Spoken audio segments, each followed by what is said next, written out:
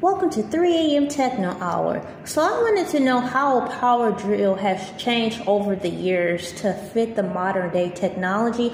I kind of typed that question into Google and I was led to a website called toolsinaction.com. And toolsinaction.com gave an answer that's highlighted in purple here. It says another factor that changed how people use the power drill was the advances in portable electricity stored in batteries. That's right. That's such an obvious answer.